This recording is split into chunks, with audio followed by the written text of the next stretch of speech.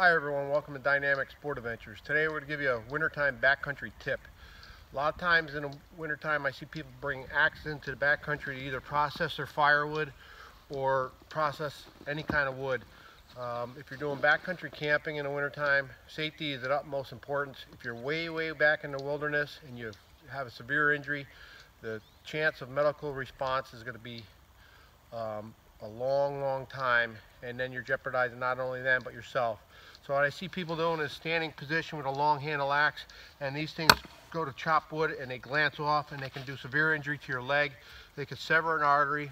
They can give you a heck of a gash and, and or chip or fracture your bone.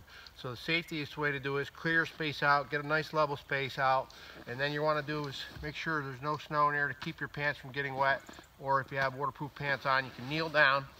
When you kneel down, when you're chopping your wood, now, if the glancing bolt comes off, it's just going to hit the dirt. Um, and if you're chopping your firewood, just measure it, get the part off the way, and then you should be able to split that wood. Again, that's not going to be able to hit your legs or anything, and you're going to keep your safety in backcountry. Quick tip from Dynamic Sport Adventures, happy hiking, get outdoors.